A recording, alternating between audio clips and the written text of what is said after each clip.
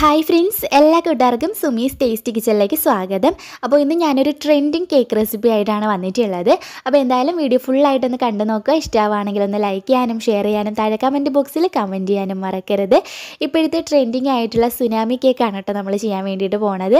അപ്പോൾ ഞാൻ ഇതിൽ ഗ്ലിറ്റർ പൗഡർ കൂടിയിട്ട് യൂസ് ചെയ്തിട്ടുണ്ട്. അപ്പോൾ എന്തായാലും വീഡിയോ ഫുള്ളായിട്ടൊന്ന് കണ്ടു നോക്കുക. ഇഷ്ടമാണെങ്കിൽ ഉറപ്പായിട്ടൊന്ന് ലൈക്ക് ചെയ്യാനും ഷെയർ ചെയ്യാനും താഴെ കമന്റ് ബോക്സിൽ കമന്റ് ചെയ്യാനും മറക്കരുത്. അപ്പോൾ നമുക്ക് നേരെ വീഡിയോയിലോട്ട് പോവാം.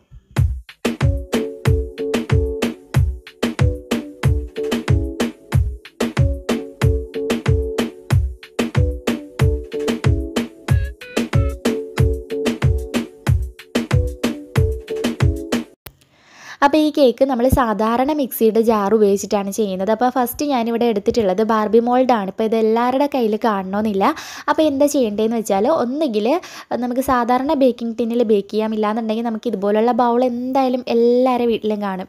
നമ്മൾ കറികളൊക്കെ വിളമ്പാൻ ഉപയോഗിക്കുന്ന ചെറിയ ബൗളുണ്ടല്ലോ അപ്പോൾ ഈ ബൗളിൽ വേണമെങ്കിൽ നമുക്ക് ഈ ഒരു കേക്ക് ചെയ്തെടുത്തിട്ട് കട്ട് ചെയ്തിട്ട് ആ ഒരു ഷേപ്പിലോട്ട് ആക്കിയെടുക്കാവുന്നതേ ഉള്ളൂ. സിമ്പിളാണ് കേട്ടോ അപ്പോൾ ഏതാണെങ്കിലും നമ്മുടെ ടിൻ ഒന്ന് ഗ്രീസ് ചെയ്തെടുക്കണം. അപ്പോൾ കുറച്ച് ബട്ടർ ഓയിൽ ഇതുപോലെ ഒന്ന് സ്പ്രെഡ് ചെയ്തിട്ട് കുറച്ച് മൈദ ഇട്ടിട്ട് എല്ലായിടും ഒന്ന് തട്ടിയിട്ടെടുക്കാം. ഇല്ലാന്നുണ്ടെങ്കിൽ ബട്ടർ പേപ്പർ ഇട്ടിട്ട് വേണമെങ്കിലും എടുക്കാം.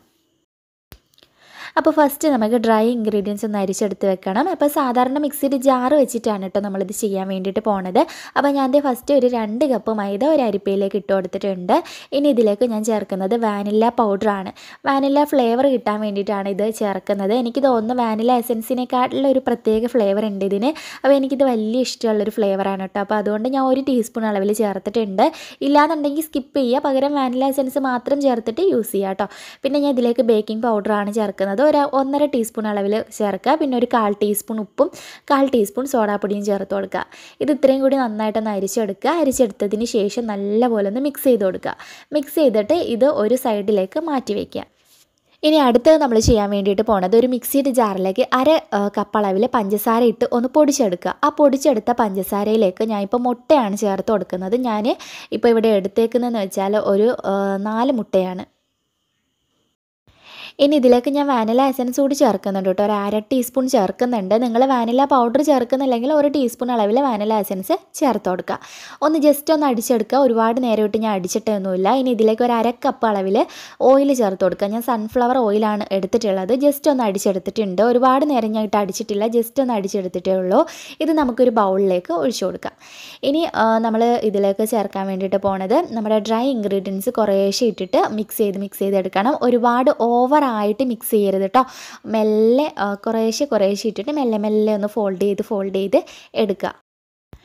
ഇനി ഇതിനോടൊപ്പം തന്നെ നമുക്ക് പാൽ ചേർത്ത് കൊടുക്കണം. പാൽ ചേർക്കുന്ന സമയത്ത് കറക്റ്റ് തണുപ്പില്ലാത്ത പാൽ തന്നെ എടുക്കുക. അതുപോലെ അര കപ്പ് അളവിൽ പാൽ ഇതിലേക്ക് ചേർത്ത് കൊടുക്കുക.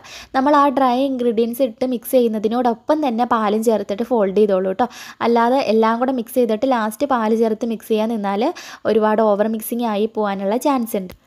ഇതിപ്പോൾ അതേ കേക്കിന്റെ ബാറ്റർ റെഡി ആയിട്ടുണ്ട്. വളരെ സിമ്പിളാണ് ചെയ്യാൻ വേണ്ടിയിട്ട്. അത്ര എളുപ്പമാണ്. അപ്പോൾ ഇതേ കേക്ക് ബാറ്റർ റെഡി ആയിട്ടുണ്ട്. ഇനി നമ്മൾ ഗ്രീസ് ചെയ്ത് ബട്ടർ പേപ്പർ ഇട്ട് ആ ഒരു ടിന്നിലേക്ക് ഇത് ഒഴിക്കണം. ഞാൻ ഇതിലേക്ക് ഒരു കാൽ ടീസ്പൂൺ വിനാഗിരി കൂടി ഒഴിച്ചിട്ടുണ്ട് കേട്ടോ. എന്നിട്ട് ജസ്റ്റ് നമുക്കൊന്ന് ഫോൾഡ് ചെയ്തെടുക്കാം. കേക്ക് നല്ല പെർഫെക്റ്റ് ആയിട്ട് പൊങ്ങി വരാൻ വേണ്ടിയിട്ട് കൂടിയിട്ടാണ് നമ്മൾ ആ ഒരു വിനാഗിരി ചേർക്കുന്നത്. പിന്നെ ഒരു ഗുണമെന്ന് വെച്ചാൽ എഗ്ഗിന്റെ സ്മെല്ല് മാറിക്കിട്ടും. അപ്പോൾ ഇതേ ഞാൻ ഇത് ഒഴിക്കുകയാണ്. ഇനി നമുക്കിത് ലോ ഫ്ലെയിമിൽ ഇട്ടിട്ട് ബേക്ക് ചെയ്തിട്ട് എടുക്കാം ഒരു നാൽപ്പത്തഞ്ച് മിനിറ്റ് എങ്കിലും ബേക്ക് ചെയ്യാം കേട്ടോ ഇല്ല ആയിട്ടില്ലെങ്കിൽ വീണ്ടും പത്ത് മിനിറ്റ് വെക്കേണ്ട വരും. അപ്പോൾ ഇനി അടുത്തത് വിപ്പിംഗ് ക്രീം റെഡിയാക്കണം ഞാൻ ഒരു കപ്പ് വിപ്പിംഗ് ക്രീമാണ് ഇവിടെ എടുത്തിട്ടുള്ളത്. നമ്മുടെ കേക്ക് വലിയ വലിപ്പമുള്ളതല്ലല്ലോ. അപ്പോൾ ഒരു കപ്പ് മതിയാവും. അപ്പോൾ ഞാൻ അതേ ക്രീം ഒന്ന് വിപ്പ് ചെയ്തെടുക്കുകയാണ്. ഞാൻ ഡിലൈറ്റ് വിപ്പിംഗ് ക്രീമാണ് കേട്ടോ യൂസ് ചെയ്യുന്നത്. അതുപോലെ തണുത്ത വിപ്പിംഗ് ക്രീം ആയിരിക്കണം. നമ്മളെ ബൗൾ വിസ്ക് നല്ല ഡ്രൈ ആയിരിക്കണം. ഇതിൽ ചേർക്കുന്ന പഞ്ചസാര പൊടി നല്ല ഫൈൻ ആയിട്ടുള്ള പഞ്ചസാര തരികളായിരിക്കണം. അപ്പോൾ അതൊക്കെ ഒന്ന് ശ്രദ്ധിച്ചാൽ ക്രീം നല്ല സ്റ്റിഫായിട്ട് വരും. അപ്പോൾ ഇത് നമ്മുടെ ക്രീം ഒരു നാല് മിനിറ്റൊക്കെ എടുത്തിട്ട് നല്ല സ്റ്റിഫായിട്ട് വന്നിട്ടുണ്ട്.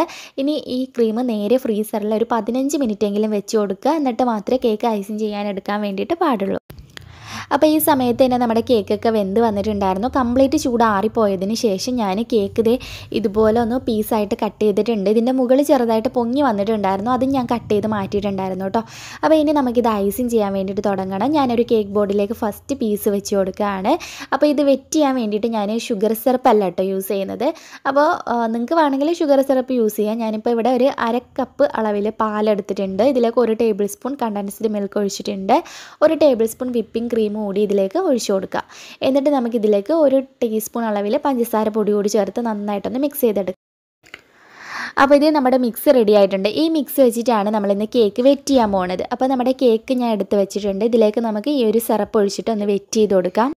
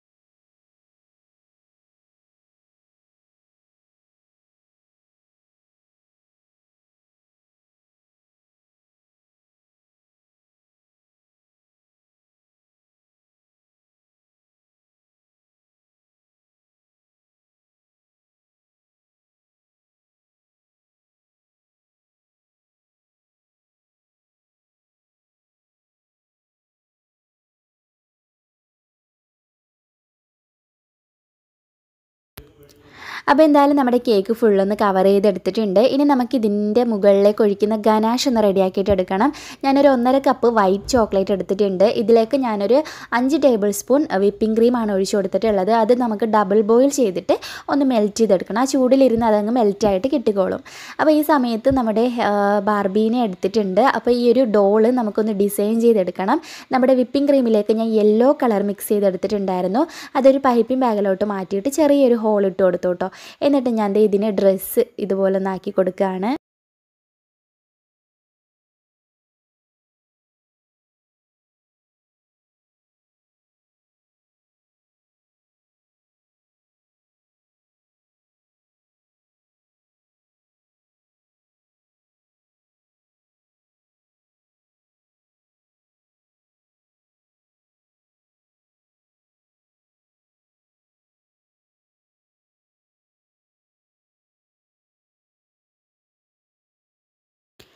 ഇനി ഇതിന്റെ ഏറ്റവും താഴെയായിട്ട് നമ്മുടെ പൈപ്പിംഗ് ബാഗിൽ ഈ ഒരു ക്രീം മാറ്റിയിട്ട് ഒരു സ്റ്റാർ നോസിൽ വെച്ചിട്ടുള്ള ഒരു ഡിസൈൻ കൊടുക്കുകയാണ്. ഓപ്പൺ സ്റ്റാർ നോസിൽ വെച്ചിട്ടാണ് ഈ ഡിസൈൻ കൊടുക്കുന്നത്.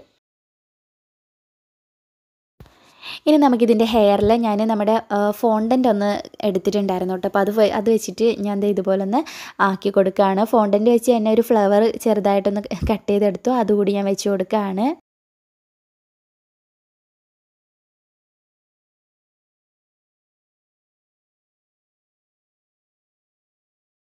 ഇനി നമുക്ക് ഈ ഡോൾ ഇതിന്റെ മുകളിൽ നിന്ന് മാറ്റി കൊടുക്കണം കേട്ടോ. എന്നിട്ട് നമുക്കിത് ഇതുപോലെ നമ്മുടെ ചോക്ലേറ്റ് ഡിസൈൻ ചെയ്യുന്ന ആ ഒരു ഷീറ്റാണ് അത് ഞാനൊന്ന് ഒട്ടിച്ചെടുത്തിട്ടുണ്ടായിരുന്നു. അത് ഞാൻ ഇതിന്റെ ഉള്ളിലേക്ക് ഇറക്കി വെച്ചിട്ടുണ്ട്. അപ്പോൾ ഇതേ നമ്മുടെ ഗനാശ എടുത്തിട്ടുണ്ട്. ഇത് ചൂടുണ്ട് കേട്ടോ ചൂട് ഇപ്പോൾ ചൂടോട് കൂടിയിട്ട് ഒരുപാട് ചൂടില്ല. ചെറിയ ഒരു ചൂട് മാത്രമേ ഉള്ളൂ. നല്ല ചൂടുണ്ടെങ്കിൽ ക്രീം മെൽറ്റായിട്ട് പോവും. അതുകൊണ്ട് ഒരുപാട് ചൂടോട് കൂടിയിട്ട് ഒഴിക്കാൻ വേണ്ടിയിട്ട് പാടില്ല. ഒരു ചെറിയ ചൂട് മാത്രമേ ഉള്ളൂ. അപ്പോൾ ഞാൻ ഗനാശ് ഇതിനുള്ളിലേക്ക് ഒഴിച്ചു കൊടുക്കാൻ വേണ്ടിയിട്ട് പോവുകയാണ്. പിന്നെ നമുക്ക് വേണ്ടത് ഇത് ഇതുപോലെ ഒരു ഡസ്റ്റാണ് കേട്ടോ ഇത് സാധാരണ ഡസ്റ്റ് അല്ല. നമ്മുടെ ഗ്ലിറ്ററില്ലേ ആ ഒരു പൗഡറാണ് കേട്ടോ ഞാൻ യൂസ് ചെയ്യുന്നത്. കണ്ടോ? നല്ലൊരു തിളക്കമുണ്ട്. എനിക്ക് ഈ ഒരു കളറേ കിട്ടിയുള്ളൂ കേട്ടോ നല്ല കളേഴ്സൊക്കെ ഉണ്ടായിരുന്നെങ്കിൽ നല്ല കാണാഴ്ചക്കൂടെ ലുക്ക് കിട്ടിയേനെ. അപ്പോൾ ആ ഒരു കളറേ കിട്ടിയുള്ളൂ.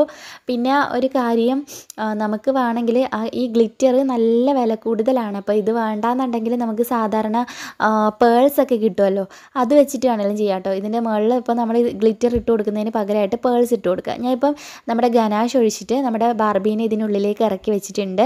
ഇനി ഇതിലേക്ക് നമ്മൾ ഈ ഗ്ലിറ്റർ പൗഡർ ഇട്ട് കൊടുക്കുകയാണ് കേട്ടോ പിന്നെ ഗ്ലിറ്റർ പൗഡർ ഇല്ലാന്നുണ്ടെങ്കിൽ ഞാൻ പറഞ്ഞ പോലെ പേൾസ് യൂസ് ചെയ്യുക നമുക്ക് ഷുഗർ ബാൾസ് ഒക്കെ കിട്ടുമല്ലോ. അതിന്റെ പല കളേഴ്സ് ഇപ്പം അവൈലബിൾ ആണ്. അപ്പോൾ അത് ഏതെങ്കിലും യൂസ് ചെയ്താൽ മതി കേട്ടോ. പിന്നെ എനിക്ക് തോന്നുന്നു ഈ വൈറ്റ് ഗനാഷിന് പകരം യെല്ലോ കളർ കൂടി ചേർത്തിരുന്നെങ്കിൽ നന്നായേനെ എന്ന് ഇപ്പോഴാണ് തോന്നിയത്.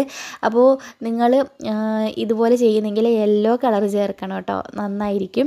അപ്പോൾ അതേ ഫുള്ള് ആയിട്ടുണ്ട്. ഇനി നമ്മളുടെ അവസാനത്തെ ആ ഒരു സ്റ്റെപ്പിലോട്ട് നമ്മൾ നീങ്ങുകയാണ് നമ്മളിത് പൊക്കുന്ന സമയത്ത് ഇതെല്ലാം കൂടിയിട്ട് താഴേക്ക് ഇങ്ങോട്ട് വീഴും. നല്ല ഭംഗിയാണ് അത് കാണാൻ വേണ്ടിയിട്ട്.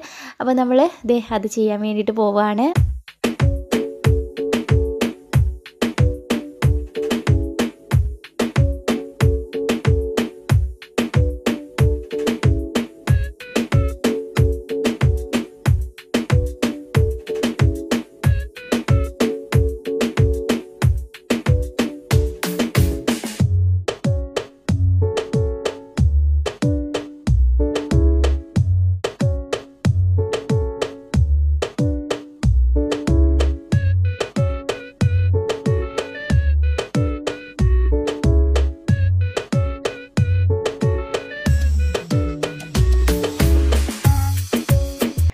അപ്പോൾ നമ്മുടെ ഇന്നത്തെ വീഡിയോയുടെ വൈൻഡപ്പ് ചെയ്യാണ്. പുതിയൊരു റെസിപ്പി വീഡിയോ ആയിട്ട് നമുക്ക് ഉടനെ തന്നെ കണ്ടുമുട്ടാം. അതുവരേക്കും ബൈ ടേക്ക് കെയർ